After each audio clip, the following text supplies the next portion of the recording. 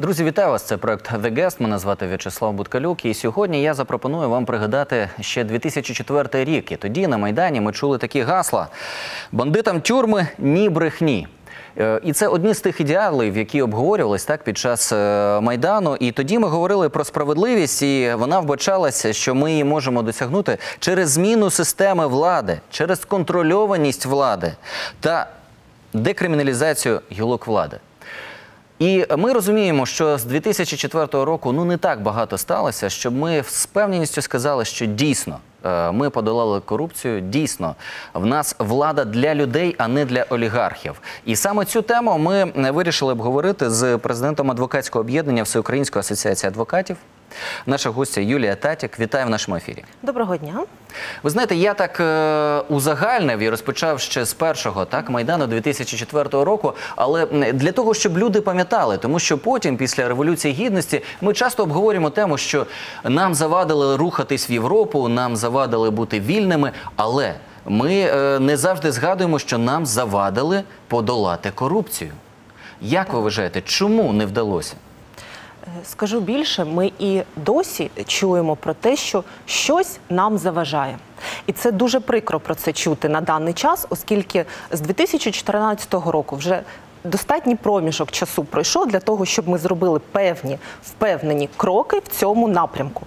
Ну, давайте ми зазначимо, я перепрошую, Так. що це саме той період, коли ми нарешті створили так звані НАБУ, ми нарешті створили САП, і це саме ті органи, так, е, які мали би розслідувати топ-корупцію так, серед наших звичайно. чиновників, і САП мали би е, захищати інтереси громади і вказувати так на, на, на конкретну проблему е, і бути у ролі звинувачення. Так? Але Е, ну досі щось у нас дійсно щось заважає, щось е, в цьому трикутнику. А до речі, давайте нагадаємо, що в цьому трикутнику ще має бути вищий антикорупційний суд. Він у 2019 році почав працювати у вересні. Але знову, бачите, ми рік е, доживаємо, він добігає до кінця, і ми не бачимо гідних результатів. Давайте будемо шукати з вами причини, чому, коли ми маємо цей чудовий трикутник, коли ми обіцяли не лише Україні, а обіцяли е, нашим європейським сусідам, що ну коли ми створимо ці всі антикорупційні органи, ну ось тоді нарешті ми подолаємо нашу біду. Е, Дійсно, е, сьогодні у суспільства є певний запит. Цей запит був завжди, але сьогодні він дуже гостро вже звучить і лунає до створеної системи органів. Це, звичайно, НАБУ, САП та Вищий антикорупційний суд України. Ці інституції вже створені, і тому е, дійсно у людей виникає питання, чому вже коли створені всі інституції, ми не бачимо реальних результатів. Ми не бачимо реально е, вироків за весь цей час е, існування Вищого антикорупційного суду. Сьогодні лише інформація така більш консолідована з'явилася про те, що 14 вироків за весь цей час. Тобто діяльність НАБУ, діяльність САП, діяльність Вищого антикорупційного суду України призвела за весь цей час до дійсних 14 вироків е, Вищого антикорупційного суду України, з яких 6 обвинувальних вироків, один е, виправдальний вирок, і інші були застосовані угоди. До е, в, даних провадженнях, тобто ми маємо з 14 лише 6 вироків суду. Тоді давайте знаєте, ми так покроково, тому що ну я в принципі узагальнив спочатку і все таких сумних фарбах е, розповів нашій аудиторії. Але якщо деталізувати е, за ці роки, ну можливо, з 2014 року, можливо, і е, так мало би бути, що їм потрібно було на законному рівні все владнати, їм потрібно було там сформувати штат, їм потрібно було всі гілки влади між собою якимось чином об'єднати і налагодити цей механізм взаємодії. І можливо, тому не вдалося. Я зараз говорю, от моє питання просте: ефективність, Е, щоб ми не були голослівними і не казали, що все погано або все добре. Чи можемо ми прослідкувати, що є якісь ефективні кроки, або ж їх немає? Е, Дійсно, якщо ми е, говоримо про ефективність, то ефективність роботи будь-якої системи з подолання корупції, звісно, е, повинна відображатися в фактах. Тому ми застосовуємо факти, ми говоримо про факти, тому що все, щоб ми не говорили, скільки порушено кримінальних проваджень, скільки обвинувальних актів скеровано до суду, це все просто слова. які ми не можемо застосовувати, якими ми не можемо апелювати. Ми можемо апелювати дійсними вироками суду і дійсними покараннями е, топ-чиновників.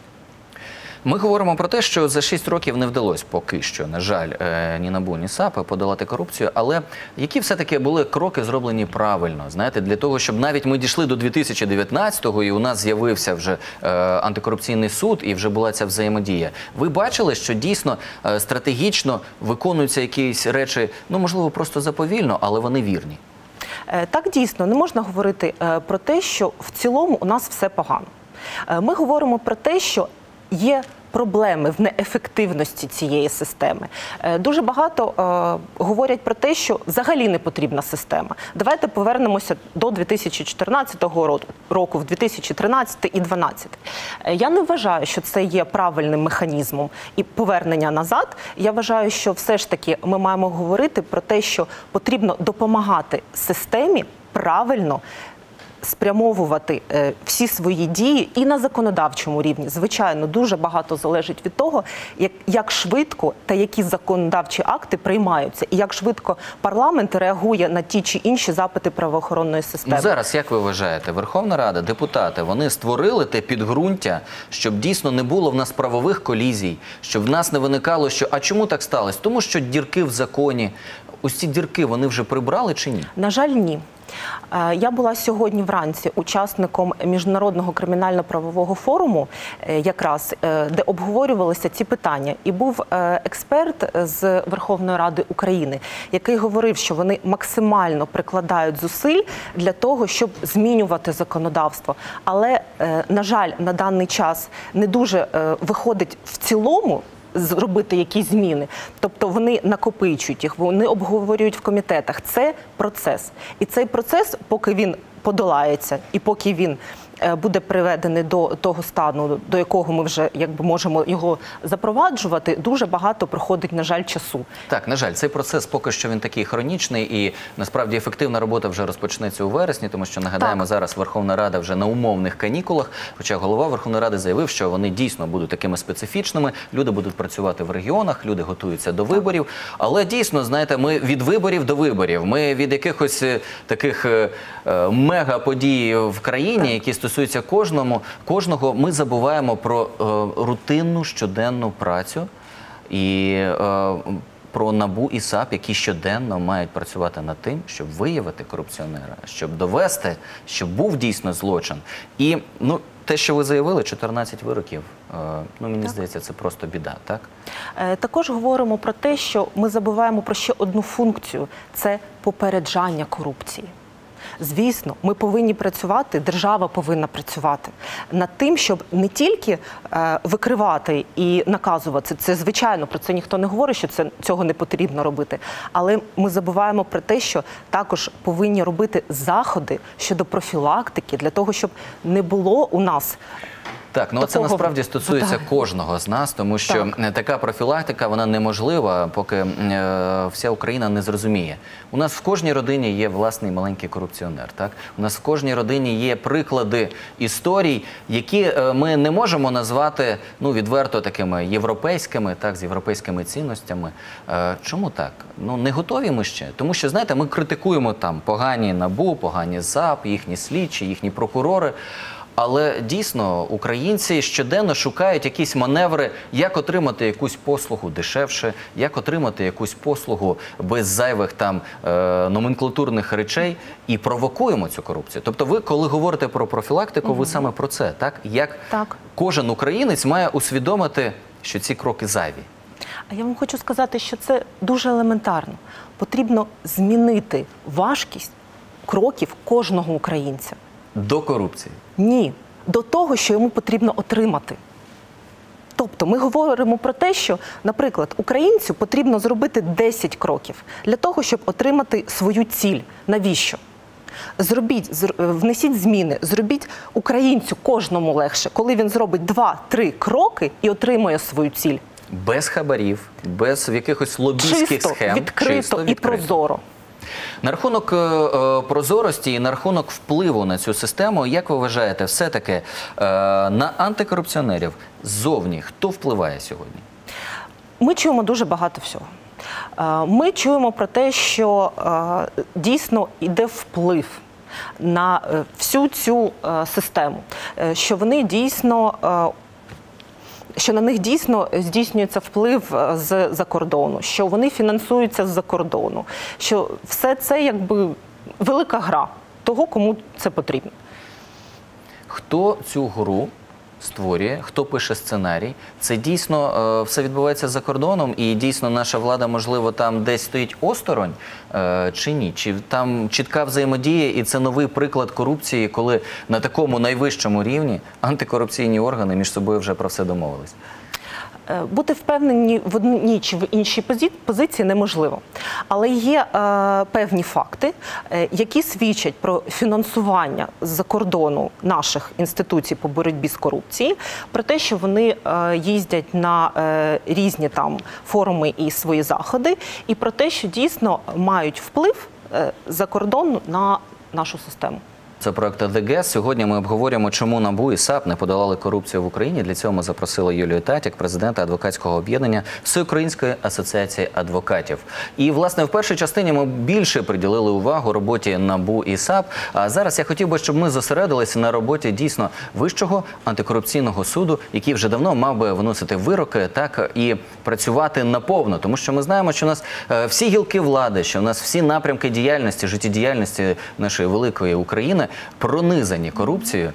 Але маємо чомусь лише такі приклади, е, які ну більше зараз і в пресі, і е, фахові е, люди кажуть, що вони фейкові. Наприклад, коли знаходяться справи ще там початку 2000-х років, які вже були закриті, їх чомусь відновлюють, починають шукати цих бізнесменів, починають їх знов судити. А потім виявляється, що немає законних підстав і змоги там довести якийсь злочин не вдається. Е, Генпрокурор новий каже, що дійсно цю справу потрібно закрити. Е, Суди київські кажуть, що справу потрібно закрити. А САП і НАБУ вперто говорять: ні, ні, ні, ні, ні. Дайте нам ще час, ми познущаємось над цим бізнесом. Ми ще там будемо щось шукати. Е, Хоча в них вже немає навіть важелів е, на цей пошук, тому що всі сказали ні. Проблеми немає. Чому так?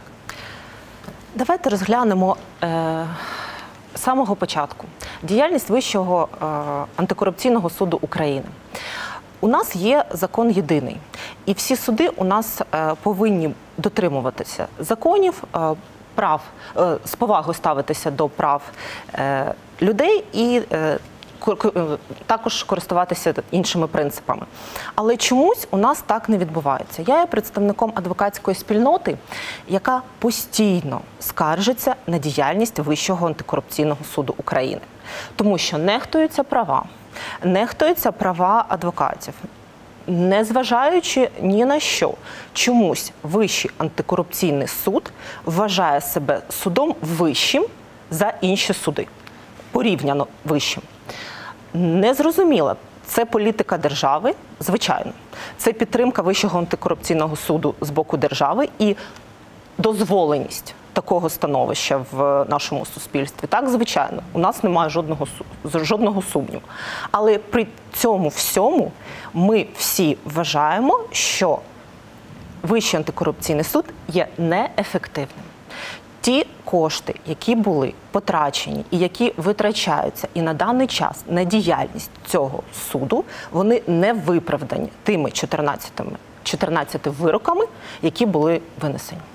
Ви знаєте, щоб ми так більш підійшли до прикладів і людям було зрозуміло, про що йде мова. Е, Те, що зараз обговорюється в ЗМІ. Ситуація Славомір Нова, колишній міністр транспорту і водного господарства Польщі, а потім він працював в Україні, так і е, був виконуючим обов'язків голови Державного агентства автомобільних доріг України. Зараз ми чуємо про те, що там ну просто обікрали так нашу дорогу, наше велике будівництво. І я як, як хочу поставити своє питання, тому що коли я обговорюю цю ситуацію з поляками, вони кажуть: ну дивіться, е, є факти, є докази, і добре, що людину будуть судити в Польщі, тому що там він 100% отримає вирок.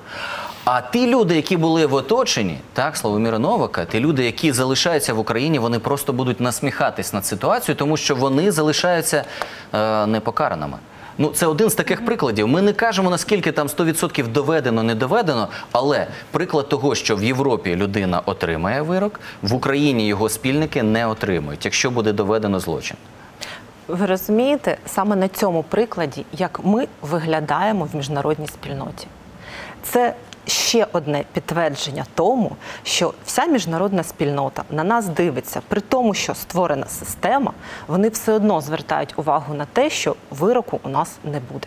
І люди, які причетні були до тих чи інших е, злочинів, не будуть покарані. Ось вам ще один приклад. Це також Польща, так Войцех е, Бальчун, е, керівник Укрзалізниці. Людина відверто заявила в Україні і за кордоном, що вона тікала звідси, тому що йому пропонували бути квіточкою на е, одязі і лише імітувати е, зміни, імітувати е, якісь. Е, Реформаторські дії, тому він не зміг цим змиритись. Людина про це заявляє, але далі не слідує якесь е, глобальне розслідування, аудит. А чому так сталося? Чому іноземці, яких ми запрошували і говорили, що це десант порятунку, вони тікають з цієї країни е, і нічого далі не відбувається? Тому що жодних змін, навіть на які б вони були направлені, їм не допомогли зробити. Не була ефективною система державного управління для того, щоб вони могли розкритися в, тим, в тих напрямках, в яких вони їх сюди запросили Але ж ця система це саме той трикутник, про який ми говорили спочатку. Так набу, САП і потім ВАКС.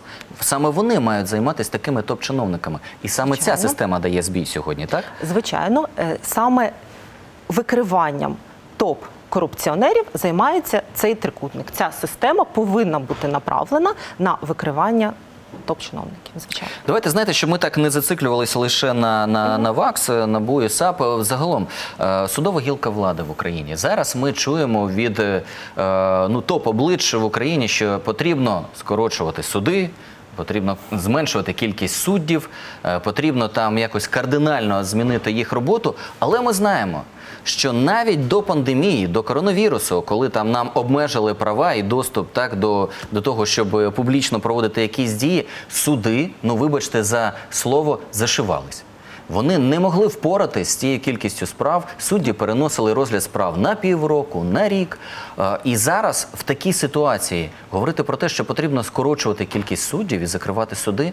Про що це мова? Я вам хочу сказати так, що ті люди, які про це говорять, не мають жодного поняття про судову систему України. Жодного. І жодного разу не були у суді. Дійсно, у суді.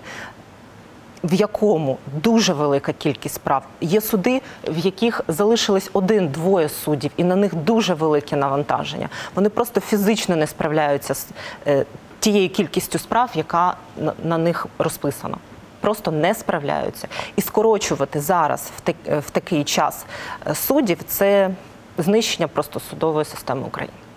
Чого потребує зараз судова гілка влади, на вашу думку? Тому що ви дійсно щоденно в судах, ви е, одна із сторін, яка постійно у розгляді справ, Так. і ви бачите, наскільки ефективно чи неефективно працює система. Ми зараз не будемо говорити про період пандемії, так тому що там деякі суди змогли вийти в онлайн режим, деякі чомусь ігнорують і саботують, хоча мали би їх проводити, кажуть, що немає технічної бази чи ще чогось. Так. Але от так, якщо узагальнити, чого не вистачає суддям? не вистачає дійсно е, того, щоб було злагоджено від парламенту до судді. Злагодженої системи державного управління, злагодженої роботи для того, щоб суддів чули, що їм потрібні зміни, що потрібні додаткові робочі місця, що потрібно додаткове фінансування, що потрібно трошки розвантажити дійсно суддів для того, щоб в них було більше часу, більш ретельно приділяти увагу розгляду справ, не переносити на півроку, не переносити на рік. Адже однією з таких, е, скажімо так, е, мінусів судової е, системи, яка була чинна до цього. До, того, як е, створили Вищий антикорупційний суд України, це було попирання судової системи в тому, що вони дуже довго розглядають справи, просто дуже довго. А в Вищому антикорупційному суді України це буде дуже швидко і дуже буде злагоджено. І ми бачимо результат. Майже рік діяльності Вищого антикорупційного суду України і всього 14 вироків. То А решта штучно затягується. то можливо помилялись.